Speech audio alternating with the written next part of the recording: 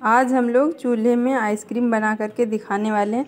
तो आज हम आपको दिखाएँगे कि घर में ही उपलब्ध सारे सामान से आप आइसक्रीम कैसे बना सकते हैं, वो भी एकदम जैसा आइसक्रीम आप बाज़ार से लेके खाते हैं।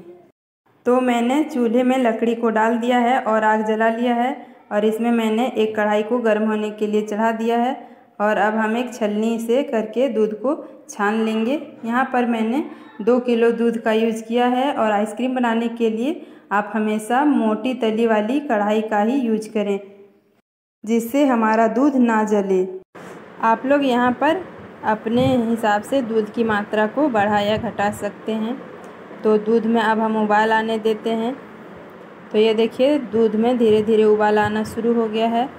तो अब हम इसे कलछी से लगातार चलाते रहेंगे ताकि दूध के ऊपर का जो मलाई है वो उबल के बाहर ना आ जाए और हम इसे लगातार ऐसे ही चलाते रहेंगे। तो जब तक हमारा दूध बॉईल हो रहा है, तब तक चलिए हम एक छोटी सी तैयारी कर लेते हैं। तो हम एक कटोरी लेंगे और इसमें चार बड़े चम्मच मिल्क पाउडर का ले लेंगे और इसके साथ ही हम इसमें एक चम्मच डाल लेंगे गेहूँ का आटा। गेहूँ के आटे से थिकनेस बहुत अच्छे से बनकर आती है। और हम गेहूँ के गेहूँ का आटा उसी चम्मच से लेंगे जिस चम्मच से हमने मिल्क पाउडर लिया था। और अब हम एक छोटा ग्लास दूध का लेंगे और इस मिल्क पाउडर में थोड़ा सा थोड़ा सा करके डालेंगे और मिल्क पाउडर का एक अच्छा सा पेस्ट बना लेंगे। तो हमें दूध को एक बार में ही नहीं डालना है, हमें इसे थोड़ा थोड़ा सा करके डालना है और इसका पेस्ट बना लेना है। तो पेस्ट बनकर तैयार है, चलिए अब हम दूध को देख लेते हैं। तो ये देखिए, दूध भी उबल कर लगभग आधा हो चुका है। तो अब हम दूध में उस पेस्ट को डालेंगे, जो मैंने अभी तैयार करके रखा था। तो हम पेस्ट को दूध में थोड़ी थोड़ी मात्रा करके डालेंगे और दूध को लगातार चलाते रहेंगे। पेस्ट को कभी भी एक साथ ही दूध में ना डालें, नहीं तो हमने जो गेहूँ का आटा, आटे का यूज़ किया है, उसकी वजह से दूध में गुठलियाँ पड़ सकती हैं। पेस्ट डालने के बाद भी दूध को लगातार चलाते हुए तब तक पकाएँ जब तक कि दूध एकदम से थिक ना हो जाए। आप देखेंगे कि चावल के आट, चावल के आटे की वजह से दूध जल, दूध जो है, वो जल्दी ही एकदम से थिक होना स्टार्ट हो गया है। दूध जब ठीक होना स्टार्ट हो जाए तो अब हमें इसी स्टेज में चीनी को डाल देना है। तो हमने यहाँ पर 100 ग्राम चीनी का यूज़ किया है। तो आप लोगों को अगर अधिक मीठी चाहिए या फिर थोड़ी कम मीठी चाहिए तो आप लोग यहाँ पे चीनी की मात्रा को थोड़ा बढ़ा और घटा सकते हैं। चीनी को चलाकर अच्छे से मिक्स कर लें। जब चीनी गल जाए तो अब हम इसमें अच्छे सेंट के लिए डाल देंगे थोड़ा सा इलायची पाउडर और इसे अच्छे से मिक्स करके चलाते रहेंगे। दो किलो दूध को उबल कर आधा होने और गाढ़ा होने में लगभग आधे घंटे का समय लगा है और यहाँ पे हमने लकड़ी का यूज़ किया है और लकड़ी हाई फ्लेम में जल रही थी, इसीलिए हमें आधे घंटे का समय लगा है। आप लोगों को थोड़ा अधिक समय भी लग सकता है अगर आप लोग गैस या फिर किसी और चीज़ में बना रहे हैं तो। तो ये देखिए दूध एकदम कितने अच्छे से गाढ़ी हो चुकी है। वीडियो में देख देख पा रहे होंगे आप लोग। तो अब हम जलती हुई लकड़ियों को चूल्हे से बाहर निकाल लेंगे और इस पेस्ट को 10 मिनट के लिए ठंडा होने के लिए छोड़ेंगे। हम इसे सामान्य टेम्परेचर पे ही ठंडा होने के लिए छोड़ेंगे। तो 10 मिनट हो चुके हैं और ये देखिए, दूध जो है वो थोड़ा थोड़ा जमना भी स्टार्ट हो गया है। तो अब हम इस आधे दूध को एक दूसरे कटोरी में निकाल लेंगे।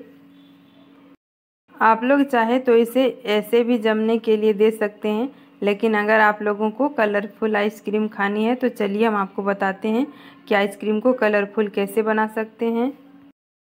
आइसक्रीम को स्ट्रॉबेरी फ्लेवर देने के लिए आप यहाँ पर स्ट्रॉबेरी एसेंस का भी यूज़ कर सकते हैं, पर मेरे पास स्ट्रॉबेरी एसेंस अवेलेबल नहीं है।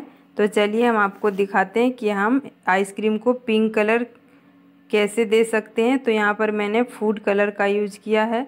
फ़ूड कलर की मैंने चुटकी भर मात्रा ली है और उसमें मैंने आधे चम्मच से भी कम पानी डालकर उसका एक घोल बना लिया है। और अब हमें उसकी भी दो से तीन बूंद ही यूज़ करना है। मैंने यहाँ पर रेड कलर के फ़ूड कलर का यूज़ किया है। जब हम कलर को डाल के पेस्ट को अच्छे से मिक्स कर लेंगे, तब हम देखेंगे कि ये एकदम से स्ट्रॉबेरी का ही लुक देने लगा है। तो अब हम छोटी छोटे बॉल्स ले लेंगे या अगर आपके पास आइसक्रीम का डब्बा है तो आप उसका भी यूज़ कर सकते हैं। तो अब हमने जो पेस्ट बना लिया है, उसे हम छोटे छोटे बाउल्स में भर देंगे।